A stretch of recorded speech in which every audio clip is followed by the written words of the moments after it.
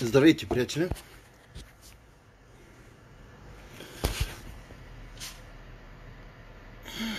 Ще започна, ще изчакам да започне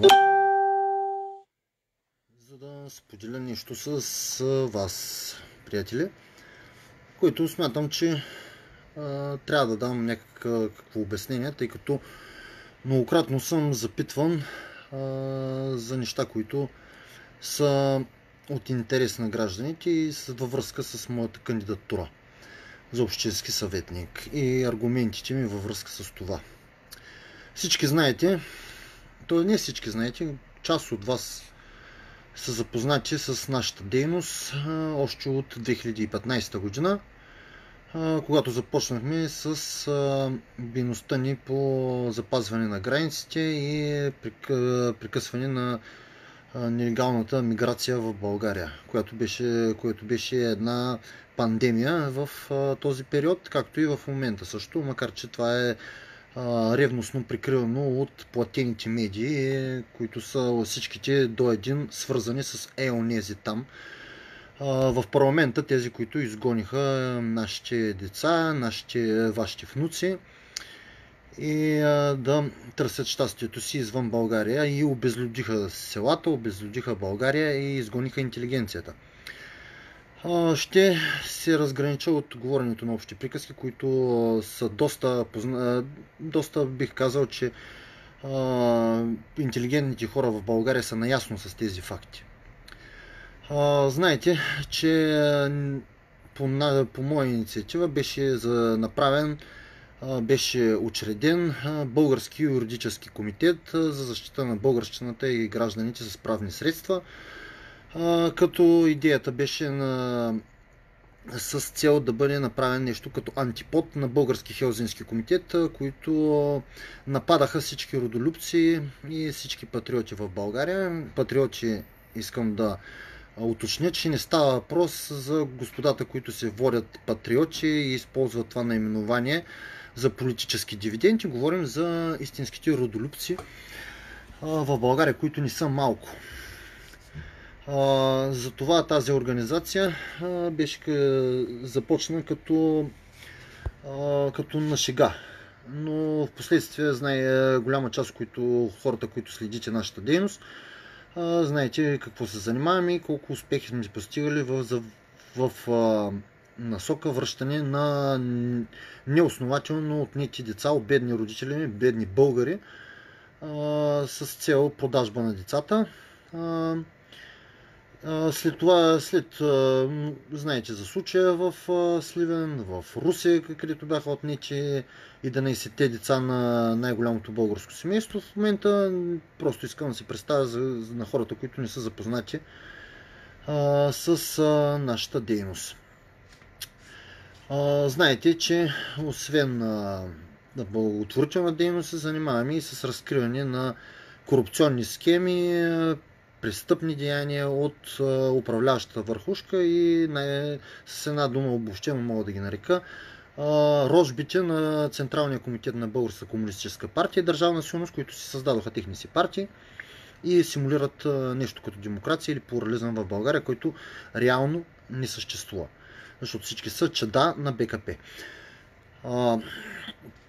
Сега, след това, знаете, че които също следят моята дейност, че разкрихме един факт за прибиването на министър-председател на Република България Бойко Бурсов в чехословашки затвор Панкрац, един от най-тежките затвори, където е бил следствен 8 месеца.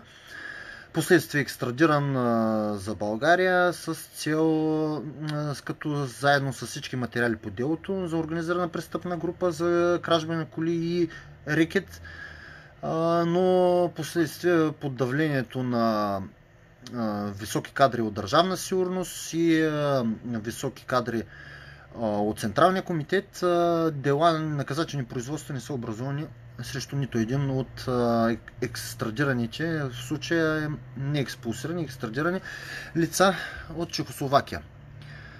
едно от тези лица в бандата на Иво Карамански, хора, които са запознати с андерграунд историята на България, знаят, че банди от Кръцина Колина, от, с Голатар Иво Карамански са гастролирали в Чехословакия и Унгария през началото на 90-те и края на 80-те години, преди да се завърнат в България, където последствие, знаете, създават силовите групировки. Това не е легенда, това е самата истина ако учите в Чешка република и говорите с чехи, като кажете, че сте българин, те се сещат за тези времена. Нас не чувстват нещо като душмани, защото си спомнят времената от края на 80-те и началото на 90-те години, където български банди са тероризирали населението в Прага и в цялата Чешка република и Словакия и Унгария. Тогава е било още Чехословакия. Така, обръщам те, това е малко дълго пред дълга, дълъг увод, но след като една година аз многократно съм казал, че моите несъмнения, моите абсолютно убеждения са, че това, тая поръчка идва от високите етажи в политическа партия ГЕРБ. Тъй като предният ден, преди да, преди да, бъда, да направим опит да бъда убит пред дома ми, беше се върнах от Прага, от Чешка република с документи, доказващи пребиваването на Бойко Борисов в същия затвор. И при първото ми излизане сходих да тренирам и тогава бях причакан пред дома ми от трима лица а, и стрелян 8 пъти. Голяма част от това сте запознати. Разбира се, платените медии, е, корумпираната полиция в Бургас, послушната полиция в Бургас и послушната прокуратура се опитаха да го изкарат нещо като криминално деяние. Едва ли не първо се опитаха да изкарат, че има става въпрос за някакъв конфликт, после за битова свада. В последствие искаха да изкарат, че става въпрос за някаква жена.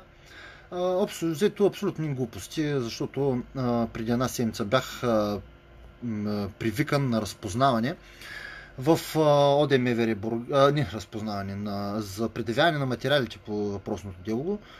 И тези, които са гледали лайфа ми преди, няколко, преди една седмица, мисля, че са запознати с комичните ситуации в разследването, тъй като разследването установява, че с, чрез някакъв си анонимен свидетел, анонимен свидетел номер едно, анонимен свидетел номер едно, сигурно е инспектор Гошев от горния етаж, който са му казали, са, му, е, са го извикали, са му казали от днеска ти си анонимен свидетел номер едно и ще кажеш, че Петър имал интимна връзка с някаква си дет, никога не съм я виждал през живота си и затова приятел е бил много ревнив.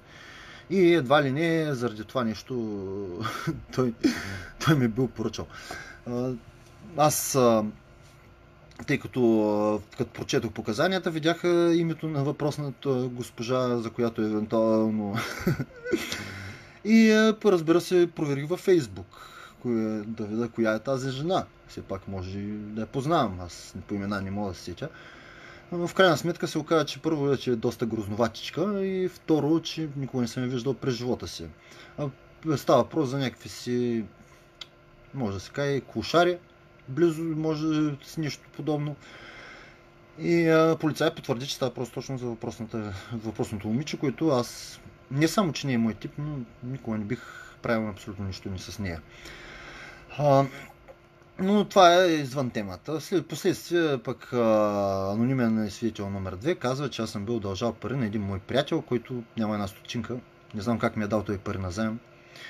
И сме в изключително приятелски отношения смехотворни е, твърдения, с абсолютно неподготвени, абсолютно липса на фантазия. Липса на фантазия, абсолютно липса на всякакво въображение, поне ако искаха нали, да малко достоверно да изглеждат лъжите им, трябваше малко повече фантазия и въображение да вложат, тъй като това са доста плитки елементарни лъжи и всеки, който е запознат с малко с нормалния живот в България, знае, че това е абсолютно нагласена история и опит за, за откланяне на вниманието, тъй като всички и на мен е абсолютно ясно, че става въпрос за политическо покушение. Сега, потвърждението на думите ми се случва и днес. Преди няколко месеца получих някакви си заплащителни смс и нещо от рода на ти ли си Петър Низамов, ти трябва влежиш живот в затвора. Аз го приех с абсолютна насмешка. Дори си помислих, че става въпрос за господа, които участват от различните, които участваха в един специален парад. Защото тогава беше, мисля, че този период от време. Но днес получавам същия SMS от същия номер, но аз питах се нали, да свържа с него, но явно ми е блокирал номера. И а, получавам SMS от рода на а, следващи куршуми няма да бъдат в краката, ще бъдат много по-точни, радвай се, много скоро ще страдаш и така нататък, което се случва точно след регистрацията на инициативния комитет за издигането на кандидатурата ми като независим общински съветник в община Бургас. Което е абсолютно потвърждение за думите ми, че а, става въпрос за абсолютно политически заплахи и политическо покушение, тъй като явно въпросният човек е доста запознат с това, което се е случило миналата година, тъй като казва, че следващия път куршумите няма да бъдат в краката, а шало да бъдат по-много по-точни. А, разбира се, приемам заплахите напълно сериозно, тъй като знаете, че аз имам семейство, а, но тези, които ме познават, знаят, че въпреки, че взимам заплахите много на сериозно, аз никога не бих се отказал и не бих дал нито крачка назад. Никой не може да ме откаже по абсолютно никакъв начин. А, ако желаят а, да се пробват втори път, добре са дошли, само че този път аз съм подготвен. А, сега, искам да кажа защо, а, и защо се кандидатирам като общински съветник в община Бургас.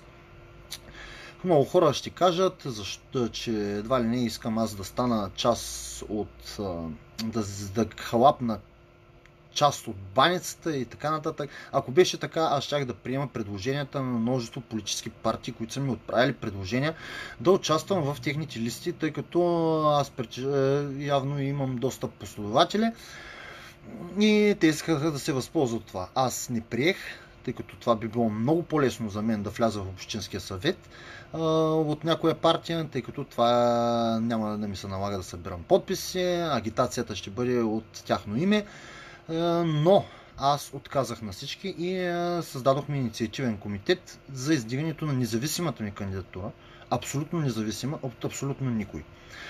Тези, които ме познават и следят дейността, дейността ми, много добре знаят, че аз няма да се откажа и нито пък ще стана подвластен на който и да е, нито пък ще изпълнявам поръчки по телефона, както някои хора. Никой не стои зад мен, никой не дава пари за мен, всеки ми пречи.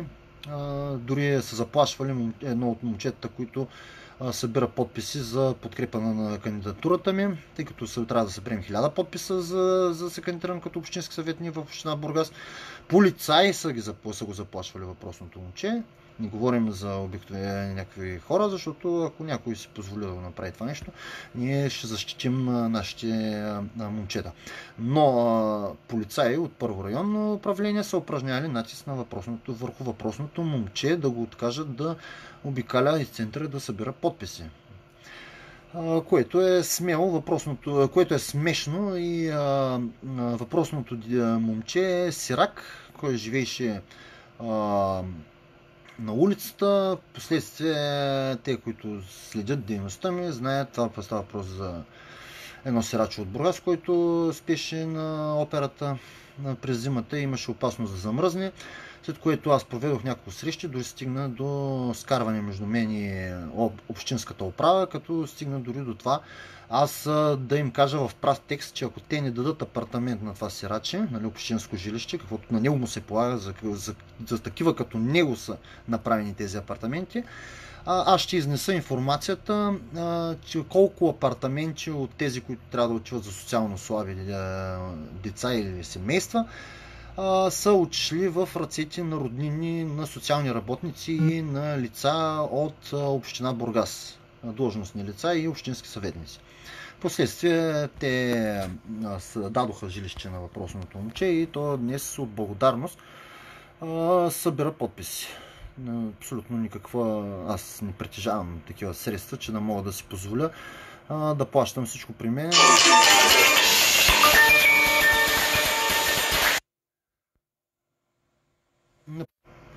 При, всичко при нас е на приятелски начала и на последователски начала. Така че, моята дейност в Общинския съвет е, аз ще имам правото да гласувам за и против решения и да предлагам решения, е, да предлагам нови решения. Не съм се кандидатирал за кмет, тъй като това е абсолютно безсмислено. Всички знаят, че всичко е предварително платено и определено специално в Община Бургас и кмет ще бъде отново Димитър Николов. Но аз искам да вляза в Общинския съвет, за да имам достъп до информация, за да мога да участвам в взимането на решенията и най-вече да изнасям информация от, от секретните им схеми за ограбване на, на гражданите.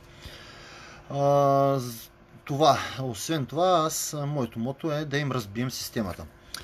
Сега ще ви запозная много накратко с нашите основни точки, които, които ще искаме да, да, да прокарваме в Бургас и основните ни мотота в развитието на Бургас. Сега, на първо място сме против обогазяването на Бургас и ще се борим с всички средства, с гласуване, с петиции, с изнасяне на информация, с участие в, като, като официални лица в протести и а, всякакви граждански дейности а, к, против а, обгазяването на Бургас за контрол а, на Тулкойл, за контрол а, върху Кроношпан за контрол върху, а, обгазя, за, върху изхвърлянето на вредни емисии в, на територията, в атмосферата около град Бургас.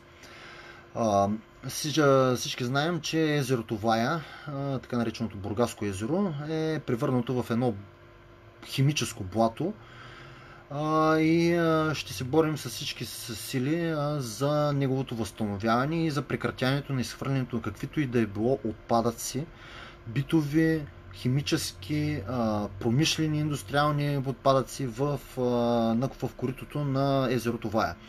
Целта ни е в един 10-15 годишен период да се опитаме да възстановим част от популацията на флората и фауната, които са измерили в въпросното към днешна дата е блато, но то всъщност е езеро.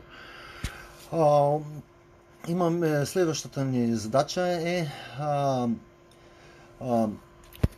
за увеличаване на стокооборота в пристанище, през пристанище Бургас, тъй като, но всички знаят, че пристанище Бургас е обект с национално значение, но въпреки това, въпреки е, че пристанище Бургас е обект с национално значение и неговите, неговото управление идва от Министерски съвет и, където, и от концесионерите, а, ние като, а, като общински съветник ще гласувам и ще предлагам в Бургас да бъде изградена а, цялостна свободна безмитна зона, Бургас да бъде превърнат в град за свободна економическа инициатива, а, да бъде а, а, освободен от а, обсадата на гербаджийските фирми и обществените поръчки да могат да бъдат, да бъдат давани и отдавани на търгови, които да имат огромна публичност и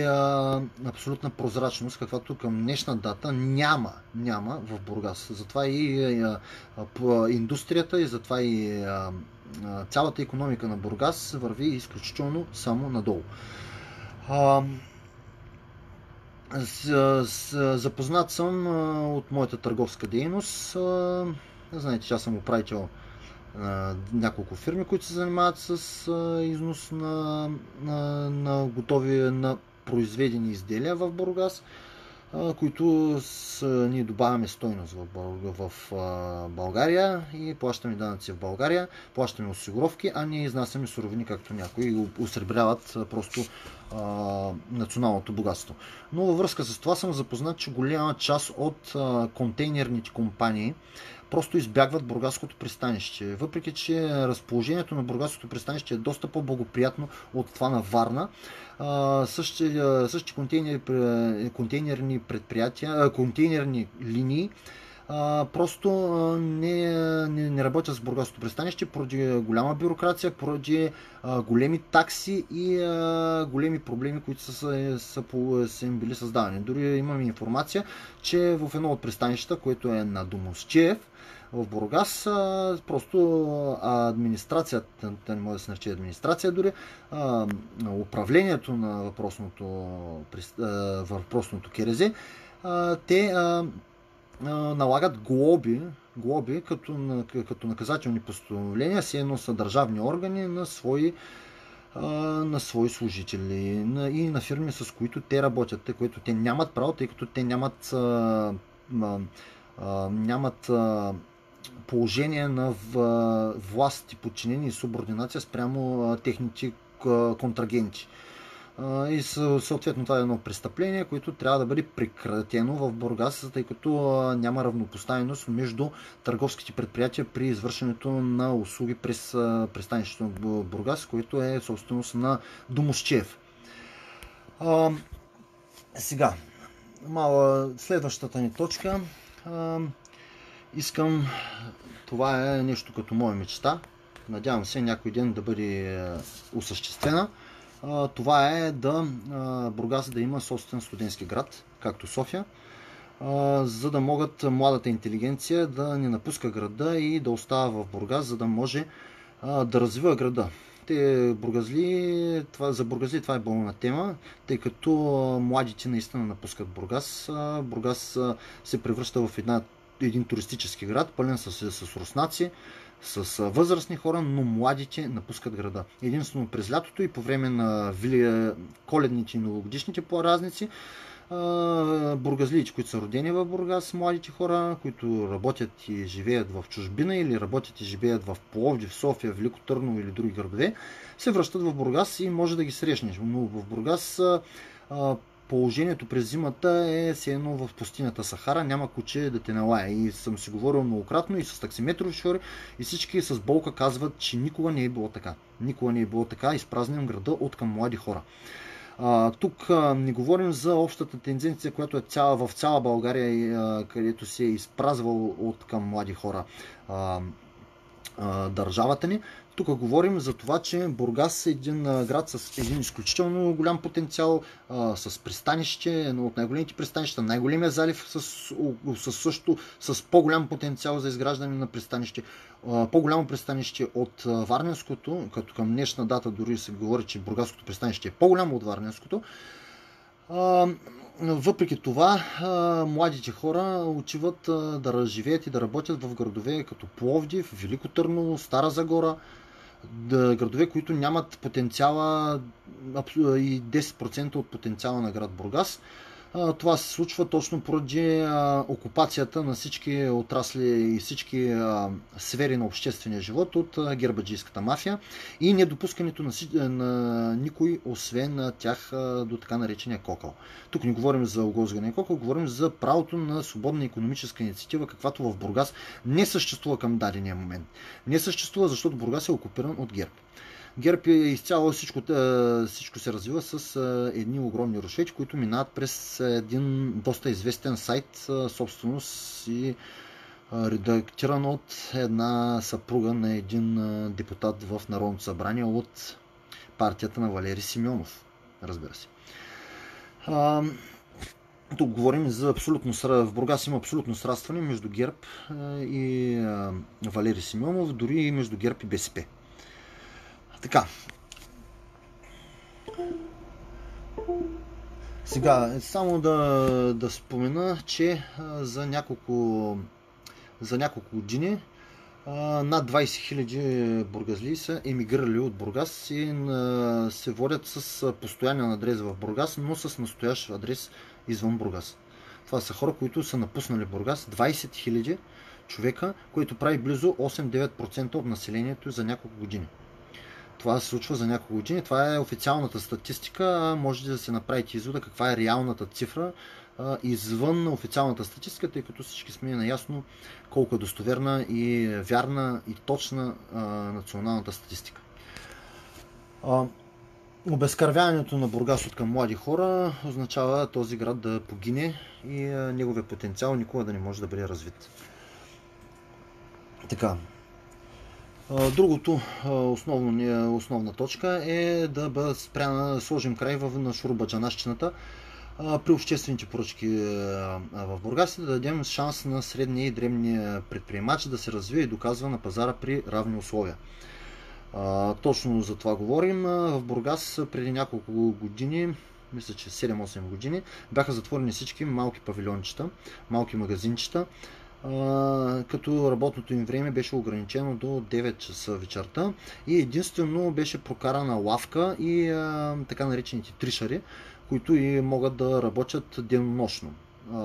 Разбира се, там цените са доста завишени и това е станало с решение също на Общинския съвет в Бургас, което е абсолютно противно на интересите на древния и средния бизнес, противно на интересите на гражданите на Бургас. Защото аз в момента, а в момента е 22.30 и аз не мога да уча да си купя хляб никъде. Няма. Наистина в Бургас няма къде да отидеш да си купиш хляб в 22.30, защото с решение на Общинския съвет всички хранителни магазини денонощни беше ограничено времето и в последствие голяма част от тях фалираха, тъй като те печелиха точно от, от закъснели а, клиенти. А, защото те не са достатъчно конкурентно способни спрямо а, големи вери като Била, Lidl, Kaufland и така нататък, които знаем, че ни продават а, на нас стоки с а, с съвсем различно съдържание от това, което те продават а, а, в Германия, примерно, или в други държави. Има двоен стандарт и нас не считат за едва ли не за втори, втора, втора ръка хора. А, следващата точка а, е това Бургас повече да ни губи сериозни инвеститори. Сега, тук аз а, мисля, че мога да говоря доста по този въпрос.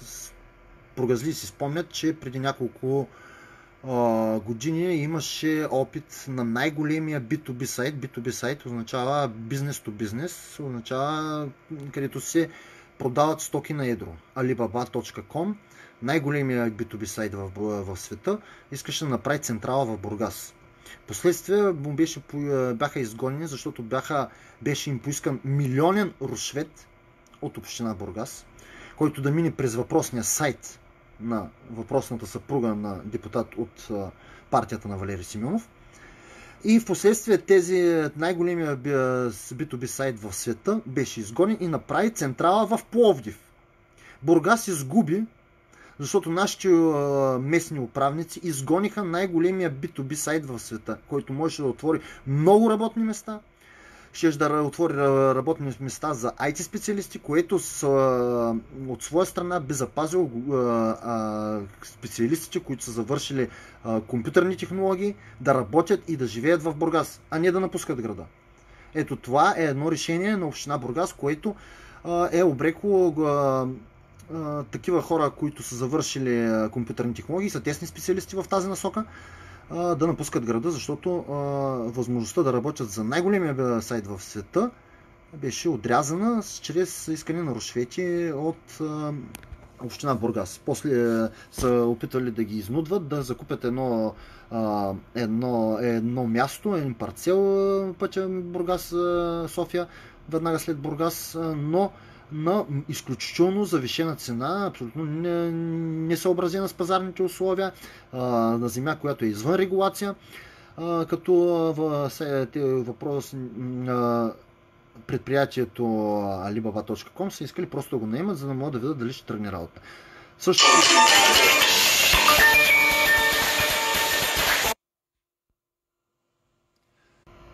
Същите условия са предложени в община Пловдив и бито най-големия сайт в света направи централа в Пловдив. И Бургас изгуби от това. Бургас изгуби много от това. Аз съм, ние, ще, аз ще се боря за, за срещу всякакви такива опити, не опити, ми всякакви такива инсинуации да бъдат изнудвани големи инвеститори по този начин да бъдат изгонени от инвестиции в община Бургас.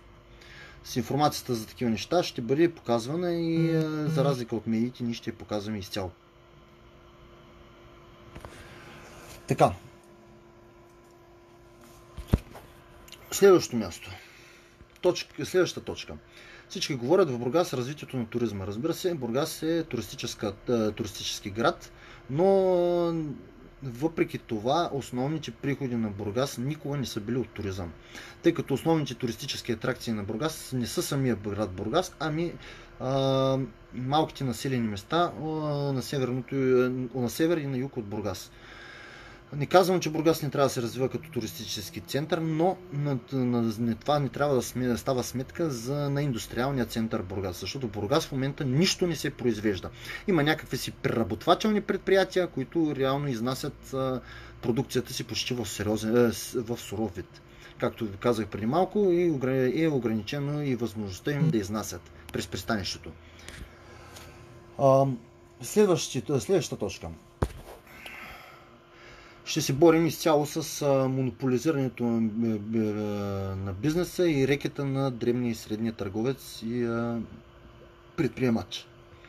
Това се случва в Бургас и всички сигнали на такива граждани, предприемачи, ще бъдат, ще бъдат повдигани от мен в Общинския съвет, за да може да се получава адекватен отговор от властимащите лица, които са отговорни за а, нещата, които се случват в община Бургас. Така, следващото нещо, което е, е виждам, че и се случва горе в някаква степен в Бургас вече, е а, против всякакви привилегии, на което и да е малцинство. А, тук не говорим за определено малцинство, говорим за равни права и равни задължения всеки ще си плаща тока, всеки ще си плаща водата, който не си плаща водата и тока ще им бъде спира. Независимо от това дали има избори, няма избори и така нататък. Тук не, не, не говорим за никаква общност, не говорим българи, роми, турци, който не си плаща тока, ще му спираме тока. А, никакви, то, никаква толерантност спрямо а, такова а, дерибейство.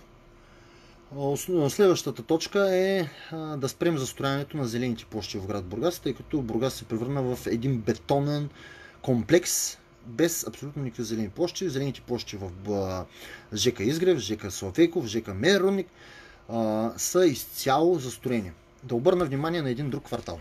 Квартал Възраждане, ЖК Възраждане, то не е ЖК, то е квартал Възраждане, защото се намират изцяло почти до централна градска част и някои друго говорят широк център. Въпросният квартал, тези гостите на Бургас, които минават по големите улици, виждат, че там е, сложен, там е направена нова настилка.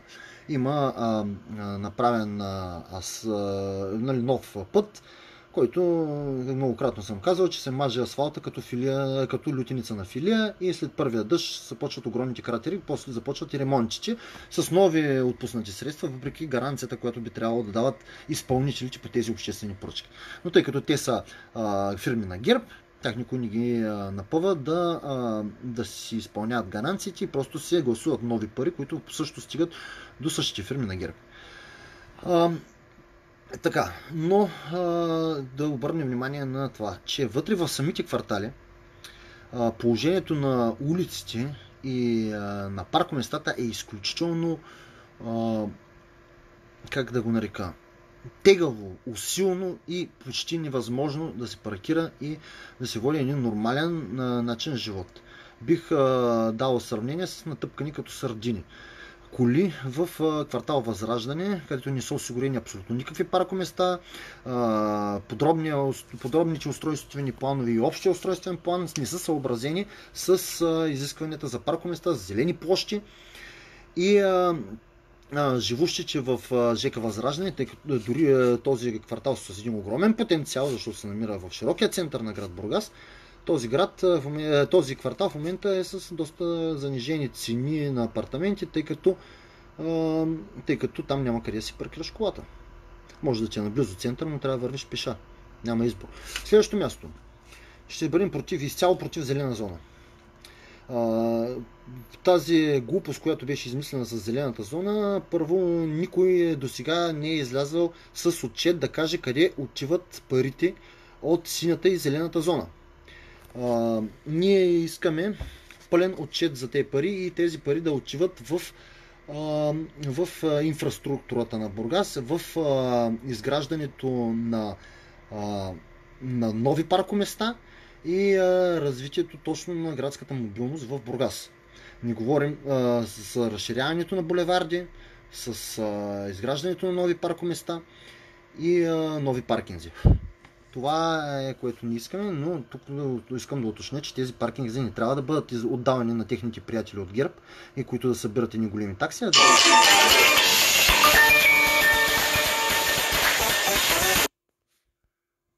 да бъдат предоставени да бъдат предоставени на гражданите да, да ги ползват, тъй като това е една привилегия. Всеки от гражданите си плаща до общинските данъци и тези допълнителни такси са просто ненужни за никой и никой не знае къде отиват тези пари. В Бургас беше създадена една огромна зелена зона, която обхваща цялата морска градина и целия Жека Лазур. Жека Лазур. Там няма събота, няма неделя. Всеки ден трябва да се плаща и положението на, на гражданите, които живеят в ЖК Лозор е доста тегаво. Аз съм лично съм свидетел как местата на зелената зона са почти празни. Местата, където е свободен а, свободно паркирането, просто няма места, те са една върху друга. Затова ние сме изцяло против зелена зона. Синя зона трябва да бъде ограничена с, с поне два пъти да бъде изградена само на места, където тя е абсолютно необходима в суперцентър на град Бургас, около основните учреждения в град Бургас. И, и около местата, където около, около общината, около музеите, около стадионите и така нататък. Не е нужно да има синя зона в Младост в ЖК Славейков, не е нужно да има синя зона в ЖК Братя Меладжунови, които се намира в един доста далечен периметр от центъра и не виждам абсолютно никакъв смисъл всеки гражданин да трябва да си плаща синята зона, тъй като всеки от тези граждани, които аз говоря, те си плащат общинските данъци. И тези такси са абсолютно, абсолютно не са необходими за община Бургас, тъй като община Бургас има достатъчно приходи от други дейности. Друг е въпросът, че голяма част от тези приходи са, става въпрос за едни оговорки, едни рушвети, където а, оговорката е едни, едни пари да се дадат за общината и друга част от тези пари да стигат до личните сметки на длъжностните лица, които са оговаряли тези а, сделки от името на общината. Така. Следващата ни точка е, че ние ще се борим изцяло против джендър образованието в училищата в Бургас. Тъй като просвет, Министерството на образованието и просвета имат общинска служба, а общинският директор е към служител към община Бургас ние ще се борим против прокарването на каквито и да е джендър идеологии, на каквито и да е анкети, на каквито и да е въпросници в, община, в училищата в община Бургас. Не на отнеманията на деца в Бургас, не на социалните служби да работят против, против семейството. Социалните служби трябва да работят за интегриране на маргиналните общности. Искаме също, ще настояваме за децата да, в Бургас да изучават истинска история, да имат възможност за извънкласни часове, свободна подготовка по история, където да се преподава истинска история извън програмата на Министерството на образованието. Тъй като Министерството на образованието, програмата, в голяма част сте запознати, че според Министерството на образованието няма оторско робство, Васил Левски бил някакъв си неважен, те, те въобще почти не го учат. Повечето от, от децата в момента са абсолютно усъкатени от знания по история. И как тези хора да бъдат, тези е, деца да бъдат после патриоти и родолюбци, след като те не са запознати с нашата, нашата велика история. Велика, защото ние сме велик народ. А, ще се борим с всички НПО-та, които, бъдат, които до сега са били допускани в училищата в Бургас и ще гласуваме против това, като ще разследваме всеки такъв сигнал и ще, да, ще задаваме въпросите в Общинския съвет, за да дадат отговор отговорните лица, които са допуснали НПО-та в училищата в Бургас. Отново повтарям, че тук отново зависи от служители, които работят към община Бургас, тъй като просветата има и общински отдел. Където се управляват всички, почти всички училища и директори в, на училища в община Бургас. Така че това не, не зависи изцяло от Министерски съвет.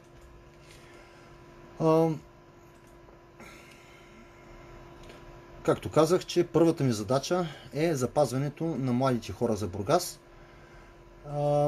и превръщането на град Бургас в град за свободна, свободна економическа инициатива. Това е, приятели, които исках да ви кажа, тъй като многократно бях са ми зададени въпроси, защо се кандидатирам, какво искам да направя, гушката ли да се напълня, какво там било да стана част от тях. Ако исках да стана част от тях, ще да се кандидатирам като част от тях. Аз се кандидатирам като независим и съм решил да плувам срещу течението, защото да се плуваш по течението е много лесно. Ти не мислиш, просто ще получаваш а, заповедици по телефона и общо взето ще се превърнеш в една марионетка и една пионка. Аз съм решил да си имам кауза. Това е целта на моята кандидатура, защото а, ще кажа, че ми омръзна да се боря, да се бия с вятърни мелници извън системата, тъй като системата не може да бъде победена отвънка без оръжие. Без оръжие. Системата може да бъде победена отвънка, само с оръжие, но аз съм против използването на оръжие, против а, създаването на такива ситуации, защото в такава международна сложна обстановка съм сигурен, че ще се създаде украински или сирийски сценарий, което е най-лошия вариант и Бойко ще ни се стори като, като детска игра.